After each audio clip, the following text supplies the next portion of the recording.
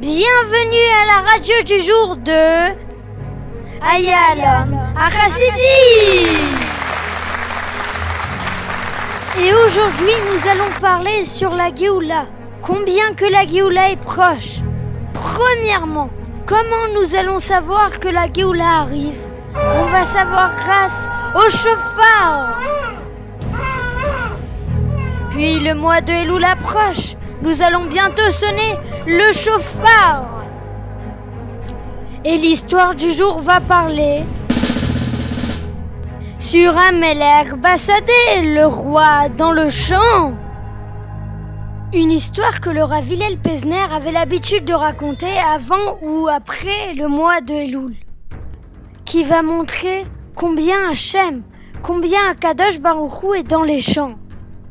Les fidèles de la communauté, je suis heureux de vous annoncer que le candidat qui s'est présenté à Paris, Jacques Chirac, va venir chez nous ce Shabbat, ici. Donc c'est pour ça que je voudrais vous demander de tous le respecter et de le recevoir de façon brillante. Bonne journée, Mincha à 18h30.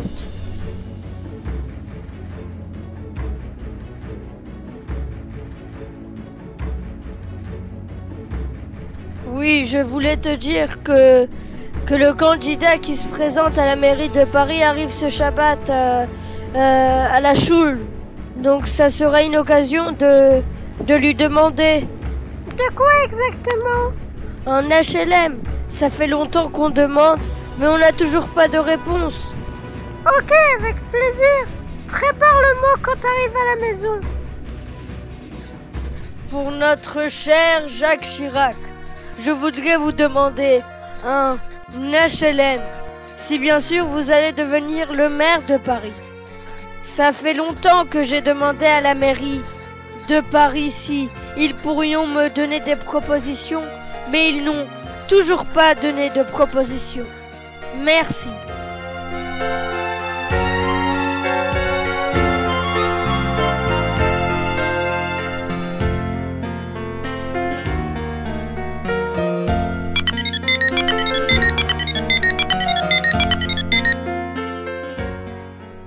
Maintenant que j'ai mis le papier, je vais repartir chez moi.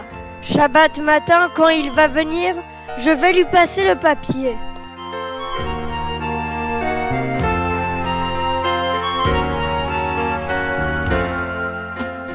Pour faire améliorer la ville de Paris.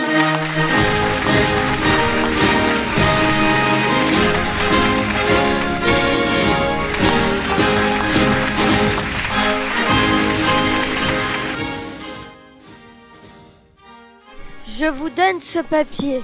J'espère que si vous allez devenir le maire, vous le lirez. Merci en tout cas. Lorsque Jacques Chirac était devenu maire, il s'est rappelé du papier et il a répondu aux besoins de la personne. La proposition était sur deux maisons. Baruch Hashem, Baruch Hashem, il nous a répondu. Il nous a donné le choix entre deux HLM. On verra dans lequel on se sent plus à l'aise. De cette histoire, on peut apprendre une chose. Il ne faut pas attendre que le roi s'approche de nous pour lui demander nos besoins. Mais il faut nous aller le voir et lui dire on veut la Géoula. Et comme ça, Bezrat Hashem, il va nous donner la Géoula.